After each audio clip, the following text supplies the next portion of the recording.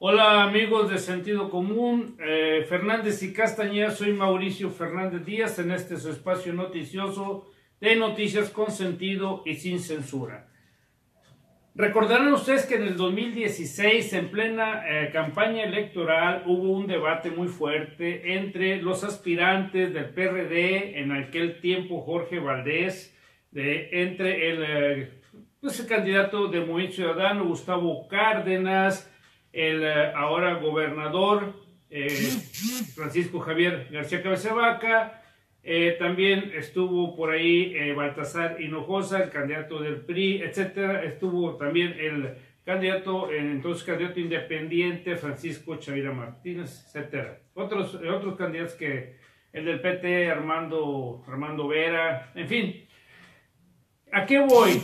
A que en ese tiempo se dijeron eh, muchísimas cosas y se, le, se acusó al gobernador, al hoy gobernador eh, de ser cómplice del crimen organizado. Cuando termina esta lucha electoral y gana el gobernador eh, con el apoyo de muchísima gente, incluido esa extraña alianza que hiciera con los municipios de Hidalgo, Villagrán y Mainero, municipios que son eh, pues custodiados por una columna armada, o así se denominan ellos, columna armada Pedro José Méndez. Eh, en aquel tiempo este, estos municipios se declararon a favor del hoy gobernador, inclusive los mismos candidatos priistas hicieron estas declaraciones y declinaron a favor de el señor gobernador Francisco Javier García Cabeza de Vaca.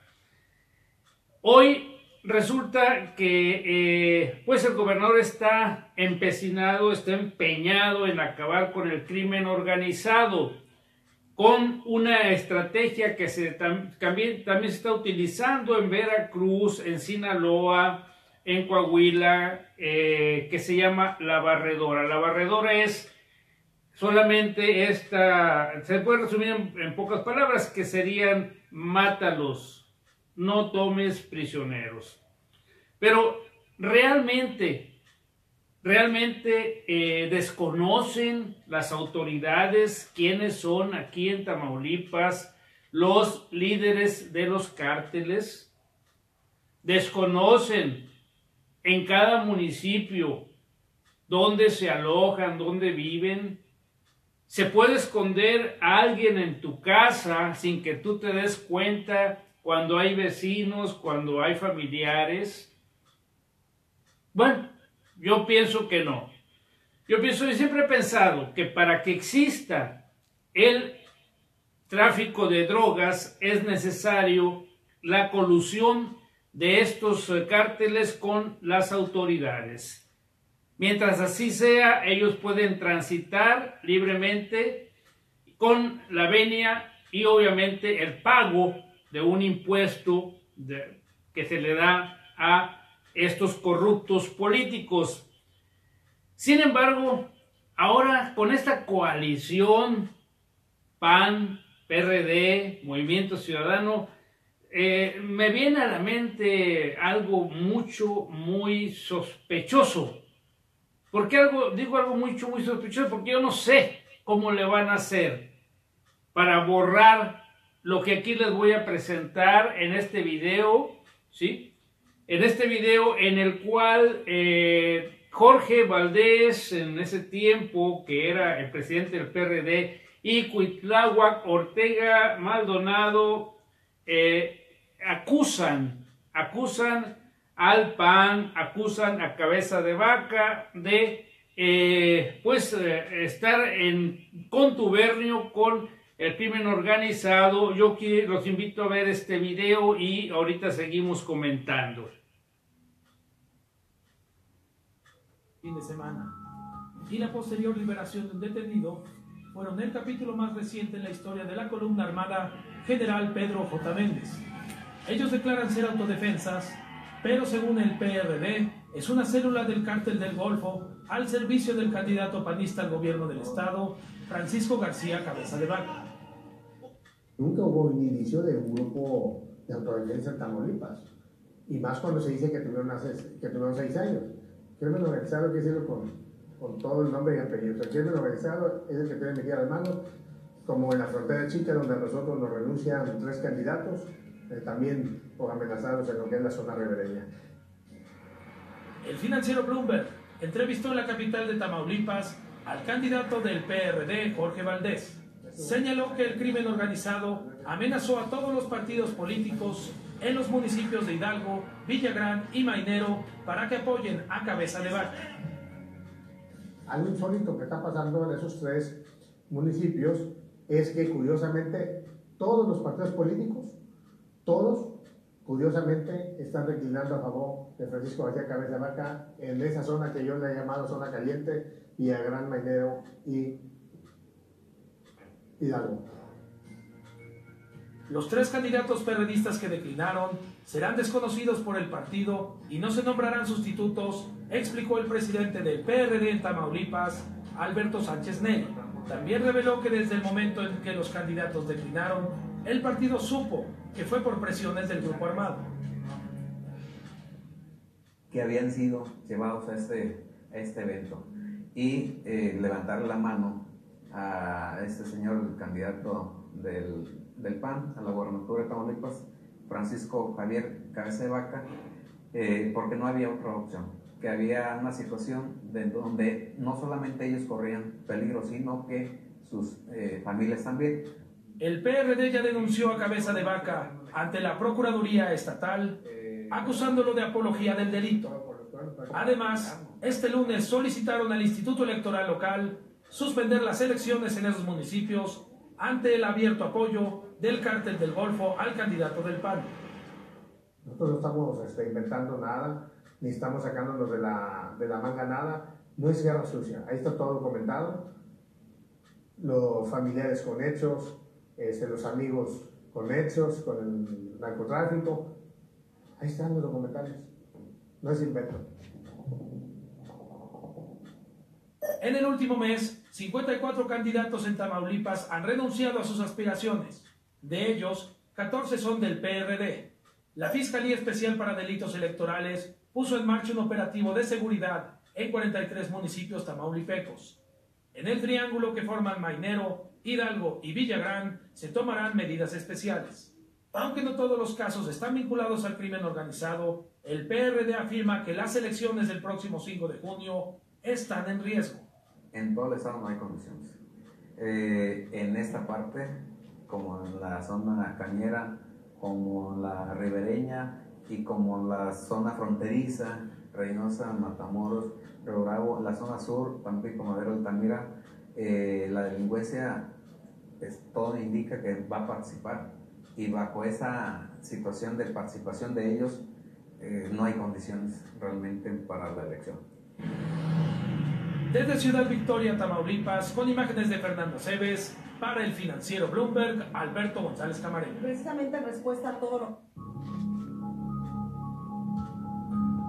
Los bueno amigos, están ustedes viendo en que, eh, que en ese momento, bueno, acusaron directamente Jorge Valdés y eh, el eh, dirigente del PRD, también eh, a Cabeza de Vaca de ser apoyado por grupos criminales. Nosotros no podemos afirmar, como lo hizo e inclusive presentó una denuncia, dijo Jorge Valdés, por apología del delito, no podemos afirmar que así sea. Lo que sí podemos afirmar es que ciertamente en lo que viene siendo estos tres municipios, Hidalgo, Mainero y Villagrán, existe una columna armada. Una columna armada que ha sido ya documentada extensamente. Eh, en el, eh, eh, es difícil entrar ahí, muy difícil entrar y pues, pues ellos mismos declaran que son porque están ahí porque están para cuidar al pueblo, están para poder hacer que no haya violencia, ya que no haya nada, ningún tipo de eh, extorsión, robo y situaciones de esta naturaleza. Sin embargo, sin embargo, eh, tenemos nosotros, por ejemplo, que eh, escuchen, escuchen lo siguiente, por favor. armarnos para defender lo más sagrado que tenemos, la vida y nuestra familia para gritar a los cuatro vientos que nuestra lucha en ningún momento está encaminada a desestabilizar al gobierno federal, al gobierno estatal y mucho menos a los gobiernos municipales. Ahí el, eh, Reyes Hueselao Zúñiga, que era el candidato del PRI en Hidalgo, Tamaulipas, acepta que eh, están armados y que se tuvieron que armar para poder defender, dicen ellos, para poder defender la libertad y poder ejercer eh, con toda, pues que con toda seguridad el sufragio. Lo que sí es cierto es que esos tres municipios no pudo entrar ningún otro candidato más que eh, el gobernador Cabeza de Vaca en ese tiempo, obviamente, que era el eh, bueno, vamos a decir así, era el eh, candidato de los tres municipios. Yo pregunto, ante esta situación, ¿es posible que eh, haya en Tamaulipas un grupo armado a unos kilómetros de Ciudad Victoria, de la capital del estado, y sea tolerado por el gobierno del estado? Es posible que, como dicen aquí mismo en los mismos eh, eh, videos, ellos, eh, el ingeniero, así le llaman al jefe de esta columna, se encuentra en la sierra, guardado en la sierra para que no lo ubiquen, no lo localicen. ¿Es, esto, ¿Es posible esto en un Estado libre, en un Estado soberano, en un Estado apegado a derecho? que haya este tipo de eh, columnas. Sabemos, porque hemos estado en esos municipios, que entra uno y es vigilado eh, completamente, totalmente, por los, eh, pues las personas que pertenecen a este, a este grupo armado. Ahora, la, la cuestión es la siguiente, ¿hasta dónde está realmente coludido el señor eh, Cabeza de Vaca con esta situación. ¿Hasta dónde llevó el compromiso de poder, bueno, votas por mí o, o votan por mí y yo les voy a pues a dar impunidad a su columna armada, porque ahí están, hace poco todavía hicieron una marcha festejando el séptimo aniversario de la columna, unas 1.500, 2.000 personas, a vista, a vista plena del gobernador y su secretario de general de gobierno. O sea, ¿en cuál, en qué estado, en qué estado podemos encontrar que hay un autogobierno con armas que deciden quiénes son los candidatos y deciden qué se hace y qué no se hace. Ahí gobierno del Estado no tiene injerencia. ¿Realmente se quiere acabar con el crimen organizado o se quiere acabar con una parte del crimen organizado dejando solamente a otra parte? O sea, se dejar a un solo cártel que quede el más fuerte y que se maten entre ellos como está sucediendo en Mante, donde en Mante eh, están acabando, están, eh, es una guerra, eh, es una zona de guerra Mante y los militares, los policías, los estatales no intervienen precisamente por órdenes, de acuerdo a las versiones que nos han llegado del secretario general de gobierno César Augusto Verástegui. O sea, mátense, mátense hasta que quede uno, el más fuerte, y con ese vamos a negociar. Porque tienen que negociar, ya lo sabe perfectamente el gobernador que no puede matarlos. Ahora bien, ¿a dónde nos lleva todo esto? Nos lleva a la situación de que vamos a seguir matando gente, va a seguir esta matazón. ¿Cuáles son las raíces realmente que eh, nos llevan a que niños de 14, 15, 16, 17 años sean los sacrificados? Porque es la carne, la carne de cañón de estos grupos del crimen organizado. Las raíces son muy sencillas, es pobreza, son falta de oportunidades, es falta de empleo, es falta de educación, es una economía en, en, plena quiebra, no hay oportunidades para los jóvenes, no hay oportunidades para ellos que puedan desenvolverse, tener un empleo, tener un estudio y esto obviamente los lleva a la delincuencia organizada. Para ellos el recibir 2.500 pesos, 3.000 pesos por quincena es una cantidad muy grande.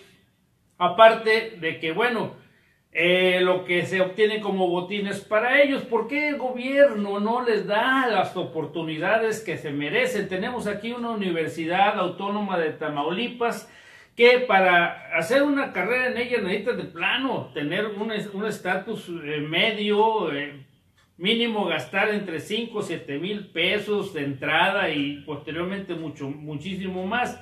No tenemos preparatorias, casi todas las preparatorias son de paga, son eh, para gente que puede costear la educación cuando se supone que es gratuita y la Universidad Autónoma debería de tener sus preparatorias, no las tiene se tiene que ejercer el dominio sobre la educación de paga, pero es un negociazo para la UAT y para, y para las preparatorias. Si no hay preparatorias privadas, pues simplemente no hay alumnos de preparatoria, porque pues, educación gratuito en preparatoria, pues como no sean CEBETIS, CETIS, con ALEPS eh, y algún otro, no lo hay y es insuficiente. ¿Por qué me desvío? No, no me desvío, no me desvío, simplemente estoy viendo las bases sobre las cuales descansan las, ah, las gentes que eh, integran un cártel. Esta carne de cañón, estos muchachitos que son los que terminan asesinados, terminan ejecutados, terminan masacrados, ya sea entre ellos mismos o por los militares y, o eh, marinos o estatales. Pero bueno, volviendo al tema, volviendo al tema de eh, la columna armada, que bueno, pues a mí la verdad me, llamó muchísimo la atención, ¿sí? Eh, estaba buscando yo aquí en YouTube, permítanme un segundo.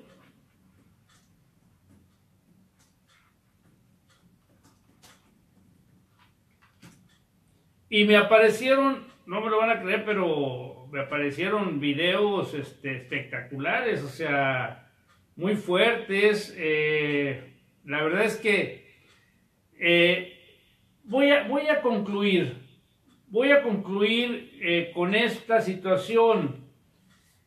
Si nosotros queremos, digo nosotros, refiriendo al pueblo, queremos creer que el señor eh, gobernador y su secretario general de gobierno y todos ellos están realmente interesados en acabar con el crimen organizado, en acabar con eh, este, esta matazón que se está haciendo, ¿por qué aceptaron el apoyo de la columna armada Pedro José Méndez? Nada más por dar un ejemplo, ¿verdad? porque ahí están continúan, ahí siguen, ¿sí? Sabemos que son gente que anda armada, sabemos que nadie puede entrar a esos municipios si no es con su anuencia, sus razones tendrán, sin embargo en un Estado de Derecho esto es inadmisible, completa y totalmente inadmisible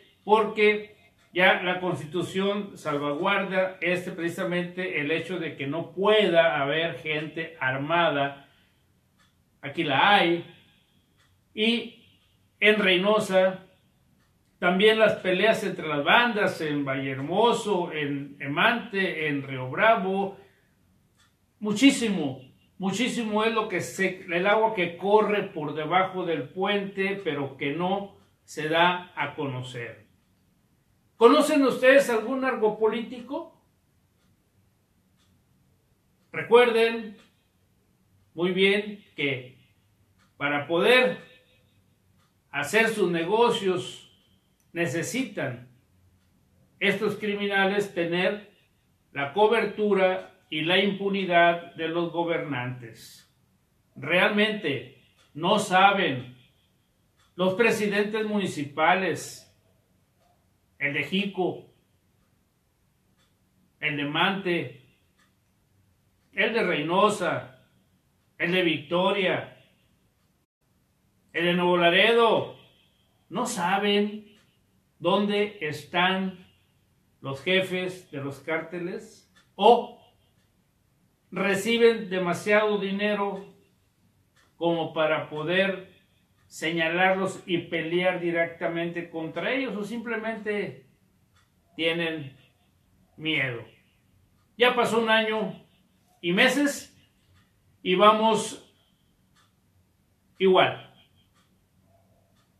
Bien dijo el gobernador, no nos vamos a detener, vamos con todo contra el crimen organizado. La estrategia falló, seguimos igual y tenemos ahorita el grave problema de que no hay una sola eh, forma de acallar esta situación.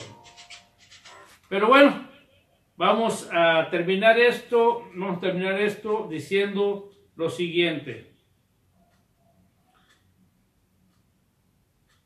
Cuando los políticos realmente no tengan que depender del dinero del narco para sus campañas, cuando el crimen organizado esté siendo combatido desde sus inicios, desde, donde empieza, que es educación, empleo, y todo lo demás que mencioné, vamos a creer entonces que realmente se está haciendo algo para acabar con el crimen organizado, con las cárteles.